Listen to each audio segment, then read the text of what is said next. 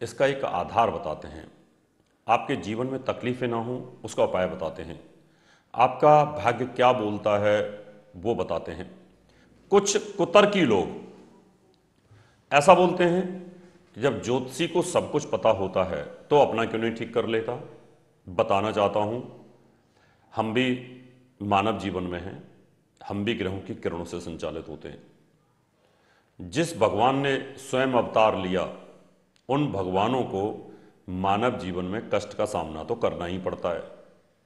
क्योंकि जो व्यक्ति स्थूल रूप में आएगा, उसके ऊपर ग्रहों का प्रभाव तो होना ही है।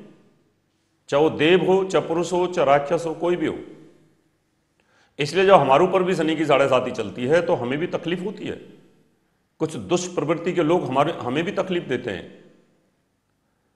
ऐसा नहीं है कि नहीं देंगे, क्योंकि ग्रह है। मैं किसी का भला करना चाहता हूँ अभी कितने लोग हैं? मैं टीवी के ऊपर बताता हूँ, पढ़ाता हूँ, ऑनलाइन भी बताता हूँ। आस्था टीवी भी देखते हैं और देखने के बाद मुझे मैसेज कर देते हैं, क्यों पब्लिक को बेवकूफ़ बना रहे हो? मैं क्या पब्लिक को बेवकूफ़ बनाता हूँ? मैं तो सिखाता हूँ। अगर ऐसे दुष्ट आदमियों को, राक्षस प्रवृत्ति के लोगों को संत की बाणी सीखने में भी तकलीफ़ होती है तो उनको क्या चाहिए? आस्था टीवी पे क्या सिखाया जाएगा? आस्था टीवी पे तो सत्संग ही होगा, ज्ञान की बातें होगी। वो टीवी देखते भी हैं, कोड़ते भी हैं, टेंशन भी लेते हैं और फिर गालियाँ भी देते हैं। बताइए, अगर मैं ज्ञान सिखा रहा हूँ तो भी गालियाँ पड़ रही हैं मुझे। तो इसका मैं बुरा नहीं मानता। क्यों? ये तो विश्वामित्र जी के साथ भी हो रहा था। वो तो जंगल में ऋषि भारद्वाज के साथ भी हो रहा था।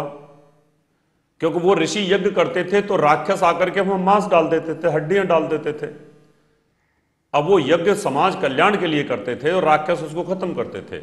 तो इस दुनिया में राक्षस खत्म नहीं हो सकते। मेरा काम है सिखाना। और जो इस प्रोग्राम को देखते और उनको कहीं टेंशन होती है तो उनका काम है गाली देना। इसलिए ज्योतिष एक इस प्रकार का विज्ञान है, वो किसी को भी प्रभावित करता है, वो योगी को भी करता है और वो सामाजिक ग्रस्ती आदमी को भी करता है। ऐसा नहीं है। अगर जीवन, ये जो नश्वर जीवन है, कभी खत्म ना होता तो योगी भी जीवन भर ज़िंदा ही रह सकते हैं, लेकिन ऐसा नहीं होता। प्रकृति के नियम है फ्यूजन सबका होता है यहाँ पर। आज मैं बताऊँगा आपको मीन लगन। अगर आपकी मीन लगन है तो यहाँ आपकी चंद्रमा की दशा है और अंतरदशा सूर्य के तो कैसा रहेगा? मीन लगन में चंद्रमा बहुत अच्छा होता है। ये पंचम भाव का स्वामी होता है। आपकी संतान के लिए, सुख साधन के लिए, पढ़ाई के लिए एजुकेशन के लिए। चंद्रमा बहुत अच्छा फल करने वाला है, लेकिन सूर्य उतना ही यहाँ खराब हो जाता। है छठे भाव का स्वामी है। अब छठे भाव का स्वामी लगन में बैठा हो तो आपको बीमारी तो कुछ ना कुछ देगा ही वो। बीमारी का डिपार्टमेंट उसके पास है तो आपका स्वास्थ्य तो खराब रहेगा। धन बाप पर उच्च होकर के बैठा है तो कर्जा तो देगा, कर्जा भी टॉप से देगा, यानी कहीं ना कहीं रहीसों वाला कर्जा देगा छोटा मोटा नहीं दस बीस हज़ार का नहीं करोड़ों में कर्जा दे देगा आपको। आपका सूर्य इधर बैठा है तो फिर आप मेहनत से दुश्मनों को चलने में सक्षम हो जाएँगे। और तीन छः आठ बारह का स्वामी, तीन छः आठ बारह में विपरीत राजयोग यहाँ बना करके सूर्य आपको अच्छा फल कर सकता है। आपको लीडरशिप दे सकता है, दुश्मनों को चलने की क्षमता दे सकता है, आप राजनीति में जा सकते हैं, आपको बेनिफिट यहाँ पर मिलेगा।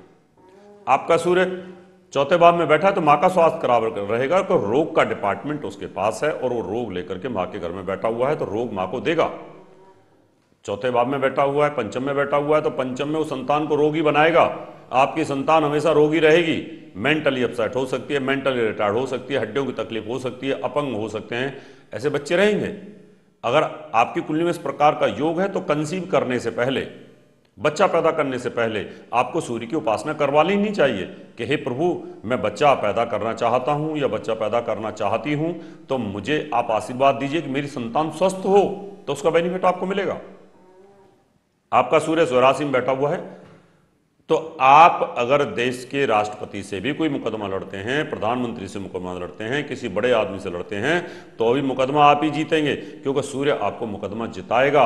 इंदिरा गांधी सन सतहत्तर में इस, इसी प्रकार से हार गई थी। इतनी पावरफुल प्रधानमंत्री मात्र एक बहुत नॉर्मल इंसान ने उनको हरा दिया था। यहाँ सूर्य बैठा है तो पत्नी या पति कोई एक रोगी रहेगा। क्यों कि रोग का डिपार्टमेंट पत्नी के घर में या पति के घर में बैठा हुआ है?